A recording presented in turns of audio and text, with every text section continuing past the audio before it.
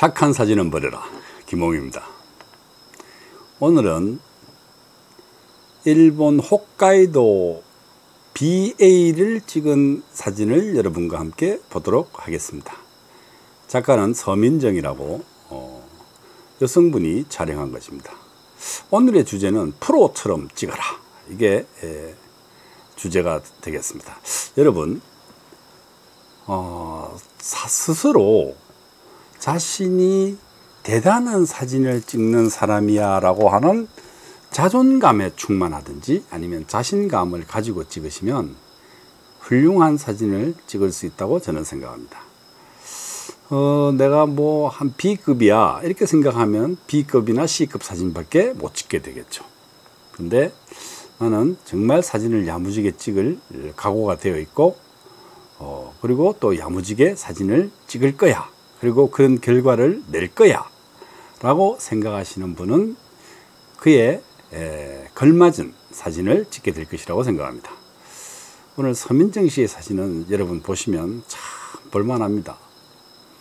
이분은 홀각 카메라로 찍었습니다. 여러분 아시죠? 플라스틱으로 만들어진 120 필름을 넣고 어, 렌즈의 성능이 그다지 좋지 않은 카메라 이, 이, 이 요즘 세상에 다 같이 최고 성능의 카메라를 쓰고자 하는데 이분은 홀각 카메라를 가지고 성능도 떨어지는 홀각 카메라에 필름을 장착해서 그것도 35mm 필름 단인 66 사이즈로 찍히는 홀각 카메라로 찍는다는 것이죠.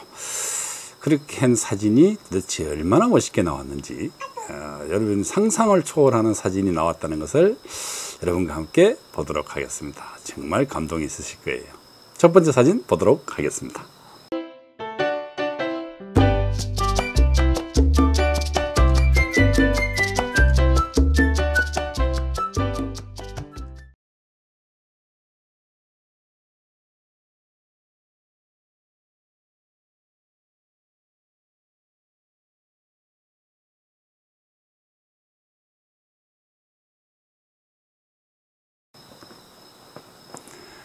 어떻습니까, 여러분?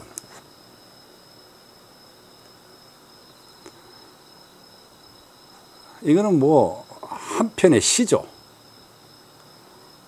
그죠? 포커스는 맞아 있지만 약간 흔들린 듯한 느낌. 어, 어떤 상황을 정확하게 묘사한다는 것보다는 묘사했다기보다는 어떤 시적 감흥이 담겨 있다. 이런 생각이 들지 않습니까? 그냥 뭐 사진이라기보다는 아예 뭐 한편의 시라고 보는 게 좋을 것 같아요. 시인이라고 생각하는 사람이 쓰는 시, 나는 시인이 될 거야 라고 생각하고 쓰는 어, 아마추어 초보의 시는 다르지 않겠습니까? 어, 이 서민정 씨는 정말 어, 작가다운 생각, 작가답게, 프로답게 찍었다고 생각이 되어집니다. 이분은 실제 프로가 아니에요. 어, 취미로 사진을 하시는 분인데 정말 아마추어의 수준을 넘어서 사진 같은 사진, 시 같은 사진, 음? 그런 것을 찍어서 저희들에게 보여주고 있다고 생각합니다. 두 번째 사진 보실까요? 무슨 나무입니까? 나무 잎이 하얀 어, 정말 그 겨울 동토에서 어, 꿋꿋이 살아가는 자작나무 아니겠습니까? 자작나무를 이렇게 찍은 것이라고 생각되어집니다. 촬영 기법도 독특해요. 그죠? 우리는 모두 카메라를 떨지 말라. 어? 떨면서 찍지 말라. 그러는데 이분은 반대로 그 떨지 말라는 것을 불문율을 깨고 일부러 흔들면서 찍었습니다. 미묘하게 흔들면서. 이게 작가가 가지고 있는 독특한 자기 나름대로의 장한 능력이죠. 하지 말라는 것을 해서 유명해진 사진가는 여러 명 있습니다. 여러분, 뉴욕이라고 하는 작품을 낸 윌리엄 클라인이라고 하는 작가 혹시 아십니까? 윌리엄 클라인이라고 합니다. 혹시 여러분, 로버트 프랭크 하는 작가는 아시죠? 로버트 프랭크와 윌리엄 클라인은 동시대에 1958년도인가에 아니면 59년도일 겁니다. 58년도라고 생각하고 있는데 58년도에 윌리엄 클라인은 뉴욕이라는 책을 발간을 하고 로버트 프랭크는 The Americans라고 하는 책을 발간합니다. 이 두 개의 책이 나오고 현대 사진이 시작되었다라고 말할 정도로 강력한 영향력을 미쳤던 두 작가죠. 그 중에 윌리엄 크레이는 카메라를 떨지 말라고 했는데도 불구하고 카메라를 떨고 찍거나 다 같이 필름이 곱게 묘사하려고 발전하고 있던 그 당시에 거칠게 예, 묘사를 합니다. 그래서 일반인들이 생각하는 사진과는 완전히 다른 형태의 사진을 제공하게 되죠. 여러분 윌리엄 클라인, 로버트 프랭크 이런 작가들은 꼭 인터넷을 검색해서 사진을 한번 보시기 바랍니다. 많은 공부가 되실 겁니다. 하여튼 이게 서민정 작가도 어, 떨지 말라고 했는데도 불구하고 자기 나름대로 미묘하게 손을 떨면서 사진을 남이 보지 못한 남이 찍지 않는 자기만의 독특한 영상을 만들어 내었습니다. 이것도 뭐 한편의 시네요. 또 볼까요? 어떻습니까? 눈이 쌓여 있는 어, 눈보라가 약간 치는 것 같습니까? 눈이 쌓여 있는 곳이고 또 홀가 카메라가 가지고 있는 특징은 플라스틱인데 빛이 새나 봐요. 어, 카메라 가 이제 암, 암박스잖아요. 암박스인데 빛이 새든가 아니면 어, 일부러 빛이 세개에서 찍는 음, 작가들도 있어요. 예를 들어서 어, 여러분이 잘 알고 있는 한국의 꽤 인기를 얻고 있는, 얻고 있는 일본 작가 중에 모리야마 다이도라고 하는 작가가 있습니다. 그 양반은 사진을 찍어 와서 필름으로 사진을 찍어 오죠. 암실에 들어가서 필름을 이제 까지 않습니까? 까서 풀어가지고 손에 이렇게 필름이 감겨 있는 필름을 쥐고 이렇게 손을 이렇게 이렇게 흔들면 필름이 풀리죠. 거기다가 빛을 이렇게 사박사박 사박사박 주는 거예요. 회전, 회, 에, 손전등으로 빛을 이렇게 줍니다. 그러면 그 부분을 타겠죠. 그죠? 그렇게 해서 프린트를 합니다. 그러니까 일반적으로 우리가 생각하는 사진과는 다른 사진이죠. 우리가 보통 실패했다든지 그렇게 생각되어지는 것을 멋지게 프린트를 해냅니다. 그것도 어, 여러분 인화지에 대해서 지식이 있으신지는 모르겠습니다만 뭐 인화지에도 1호지, 2호지, 3호지, 4호지, 5호지에서 어, 1호지는 되게 부드럽고 어, 좀 5호지라고 하면 되게 딱딱한 콘트라스트 강한 것이 이제 프린트가 되는 거거든요. 근데 5호지에다가 또 프린트를 해냅니다. 아마 어, 그런데 이, 이, 서민정 작가는 어, 자신의 사진을 찍을 때 에, 역광인지는 잘 뭐 제가 어, 어, 확실히 이, 확신할 수 없지만 역광을 찍었는지 아니면 빛이 노출되어 들어오는 노광되어 들어오는 상황에서도 사진을 찍어서 작품으로 승화했다고 보여집니다. 하, 참 작가답네요. 그냥 아마추어라고 말하기는 수준을 훨씬 넘어선 것 같습니다. 아마추어라고 말하기는 수준이 높고 어지간한 뭐 좀 작가 임내하는 사람들의 수준도 넘어선 것 같아요. 그렇죠? 음, 다음 사진 보도록 하겠습니다. 야, 이거 보십시오. 이거 보십시오. 어? 이거는 아마 아, 물에 비친 장면들을 찍은 것 같아요. 구름도 있고 구름과 함께 에, 에, 뭐 풀이라 그럴까요? 어, 그런 것들이 이제 물에 비쳐 있는 영상을 찍었습니다.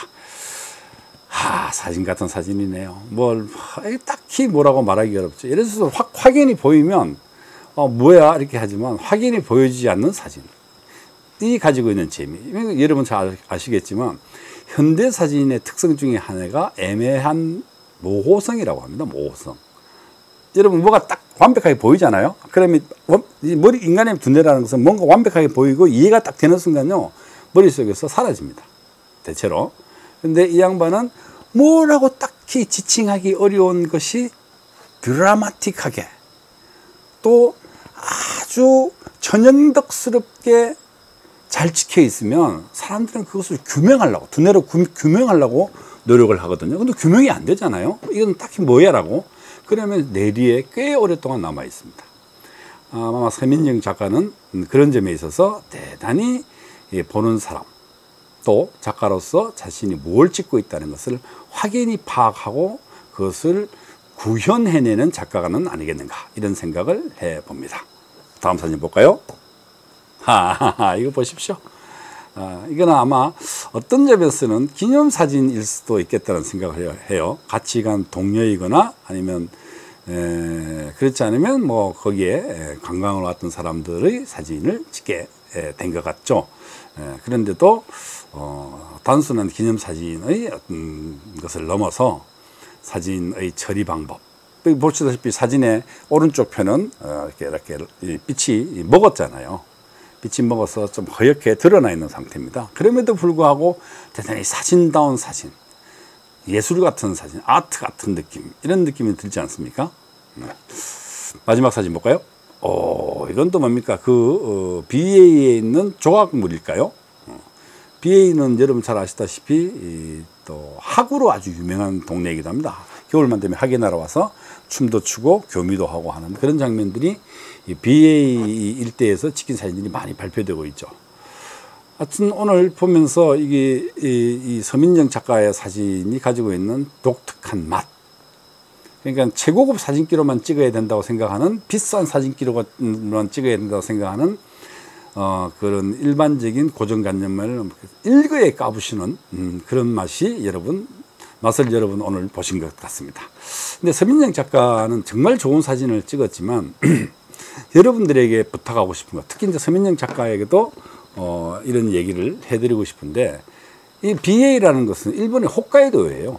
그리고 겨울 사진이잖아요. 겨울 사진을 어, 꽤 괜찮은 음, 전시를 할 만큼의 양을 찍는다든지 그렇기 위해서는 홋카이도를 한번 가서 적어도 보름 정도의 체제 시간이 있어야 될 것이다.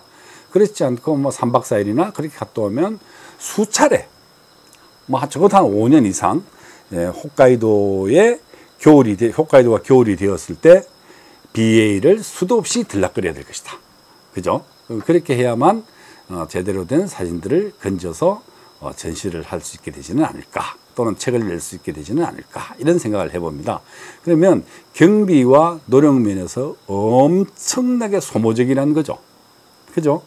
근데 만약에 이런 유형의 사진을 한국의 대관령이거나 아마 삼척 어딘가에 제가 지난번에 제가 오토바이를 타고 다니는 인간이니까 아마 지나는 길에 바람의 언덕이라는 곳을 한번 가봤어요.